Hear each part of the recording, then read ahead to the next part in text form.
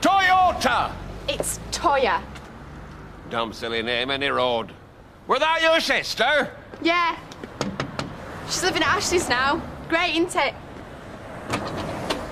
Oh, good morning. Spider in. You're both all over the paper. Really? Just a minute.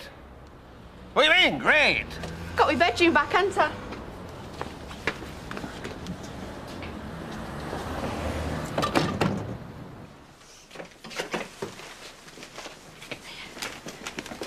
yes. There it is, in black and white. The Millennium Bowl officially scrapped. Who said we'd never win? There was more than a touch of good fortune to finding the Roman remains. Hey, you make your own luck. If we hadn't dug that tunnel, we'd be watching them turning them trees into matches now. We ought to have a party or something to celebrate. Hey, yeah, good idea. Combine it with a farewell drink. Who for? Me. Oh, I was talking to me mate Hawkeye the other day. He's on a protest in Kent. It sounds like they need help. I said I'd go down this weekend.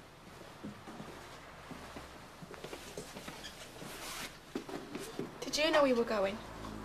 It's the first I've heard of it. What's up with her? You haven't the faintest idea, have you?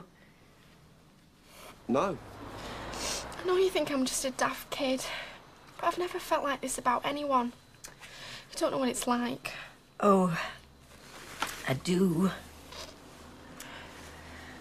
After Mr. Sugden, that the house seemed so empty, and then Geoffrey Spider appeared, and You can't compare Spider to that old misery guts.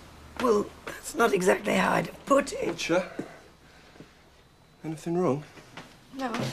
Hey, before you go, you'll never guess what? I don't think Toyah's actually in the mood for guessing games. No, right. Um, can I stay for a bit? I've got a job. Where? That's what I've been trying to tell you.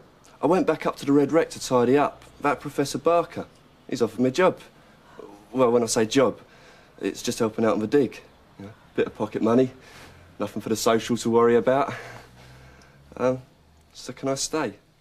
You mean you're not going to leave then? You know, you look a lot better smiling than crying.